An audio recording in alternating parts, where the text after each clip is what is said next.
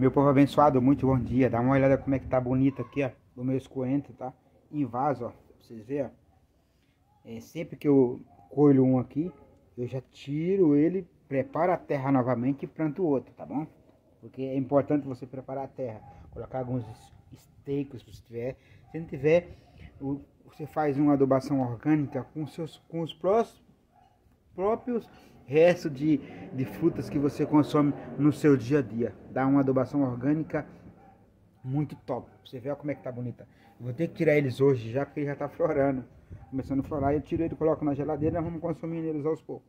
E automaticamente eu já planto outro, porque é muito importante a gente fazer isso. Além de eu estar tá cuidando da natureza, eu estou cuidando também do, do meu bolso, né? Porque não vou deixar de comprar. Por incrível que pareça aqui na nossa região, um massinho de coentro pequeno aí é, é 3, 5, depende do lugar onde você vai comprar. Então se você puder plantar e você mesmo colher na sua casa com abundância igual eu faço aqui, ó.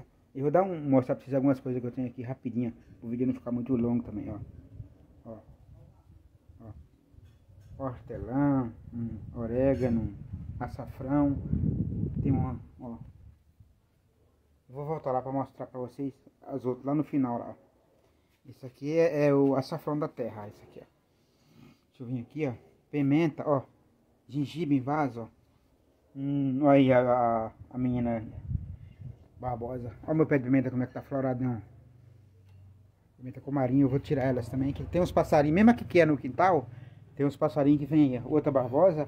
Aqui mais umas molinhas de pimenta. Hum, ó. Manjericão, ó. E aqui, ó, dois pés de, de morango.